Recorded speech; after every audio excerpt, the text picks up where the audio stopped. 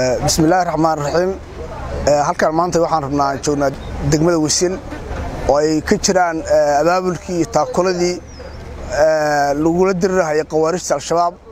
Halkan waxaa keennay in ka badan toddobaatan neef oo ari ah gaarigan ari baa saaran ujeediin mid kalena hadduu taagaya kontaroolka odayaasha dhaqanka iyo culimmadii reer beji haddaan nahay.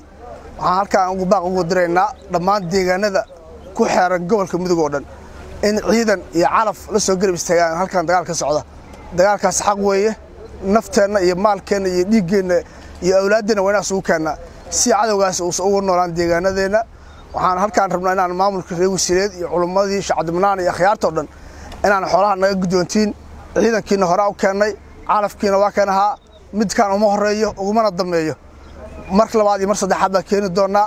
Waxaan la garab taagannahay in nimankaasi si waddanka laga saari lahaa inaan wax kasta oo hayno oo naf iyo maal ah aan la garab istaagno. Cid kasta oo ka qayb qaadanaysa iyo cid kasta oo maarata arrinta juhdi ku bixisaba. Waxaa ugu mahad celinaynaa ragga u dhabar adeegay oo halkan jira oo ciidamada dowladda federaalka ha ahaadeen kuwa galmudug daraawiishta ciidamada xaquudirarka deegaanada jooga maamulka wasiileed oo in ka badan laba sano iyo bar u dhabar adeegay hawshaas iyo si u miro dhalin lahaayeen. Idinkana waxaa leeyahay aad u mahadsantihiin iyo shiiqa gacanta ku haya iyo khiyaartao dhan asalaamu calaykum waraxmatullahi wabarakaatu hadlaya magaca degmada bajeela kana mida odayaasha dhaqanka degmada bajeela waxaan keennay ari taakulayna oo toddobaatan neefa oo saaran laba gaari. Waxaan u hambalyaynayaa dadweynaha ku nool degmada wisileed sida ay ugu dhabar adeegeen dagaalka waxaana la hor garab taaganaa ciidamada qalabka sida dhammaantood.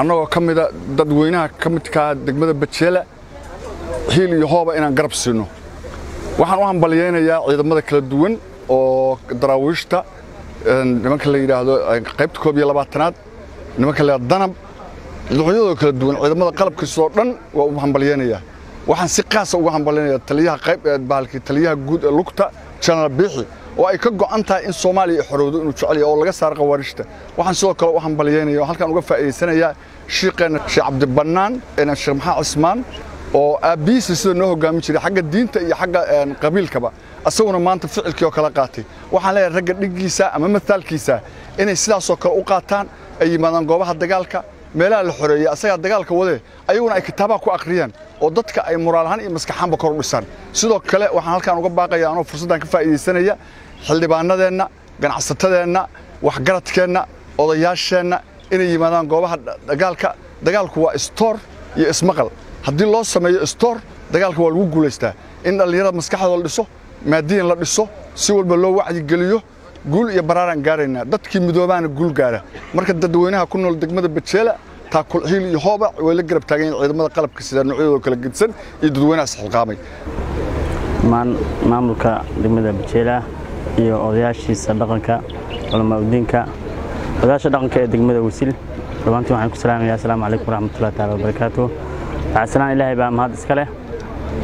Runtii waxaan u mahad celinayaa dadka ka socda deegaanka bajeela guud ahaan iyo gaar ahaanba.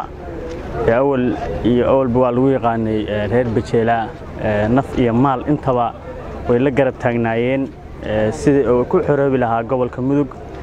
Maantana waa ka haynaa haddii ilaahay qadaro ari toddobaatan neef ah. Waxaan kaga mahad celinaa sida sharafta iyo qiimaha leh ee aad u garab taagantihiin oo dalkiinna iyo diintiinnuba ay xoroobaan ilaahay baa inka amaal marinaya. Runtii farxad bay noo tahay inaad saas ay noo garab taagnaadaan. Deegaamada nala midka ah. Guulaha maanta ee gobolka mudug uu gaaray. Ma aanna gaarin haddaana sidaas aan iskugu garab taagnayn. Aad iyo aad baa u mahadsantihiin.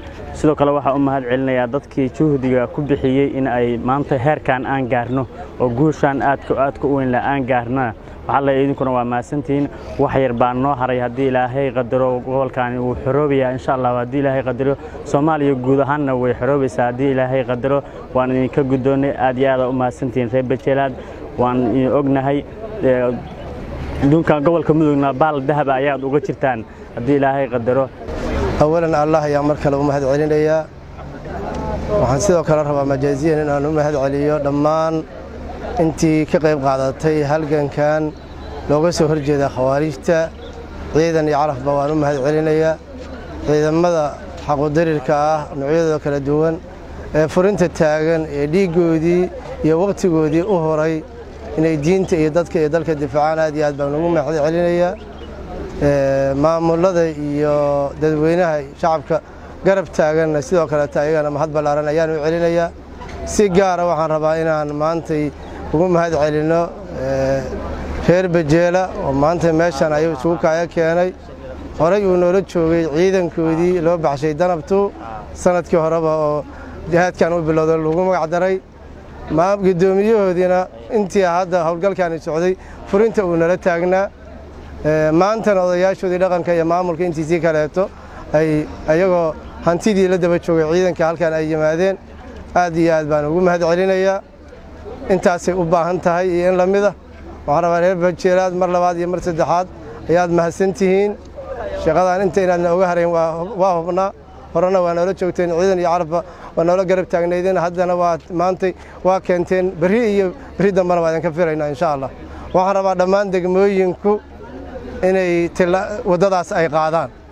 Khawaarijta haddii annagoo isku duban hal mar aan u istaagno maalmo kooban ayay insha allahu nagu dhaafaya laakiin haddii kaleeto waxaa laga yaabaa inay maalmo kale nooga darsadaan haddaan aanan u midoobin.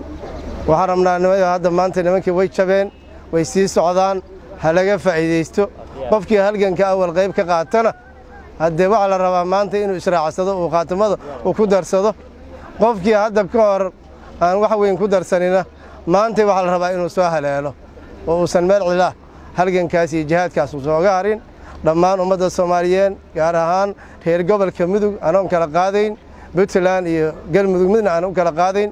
Sababtoo ah furintaan haddaan meeshaan aan lagu celin lahayn khawaarijta waxaa la hubaa gobolkan iyo gobollada kaleeto oo waqooyi naga sixiga inaysan aysan kala hareen. Ay khawaarijtu si fudud ku geli lahaayeen. Waxaan leenahay dhammaan inta angalka yarka aan ku celinayno inta ay jaban yihiin nala kala faa'iideeyo idinkuna ka faa'iidaysta. Aan iska caribtirno.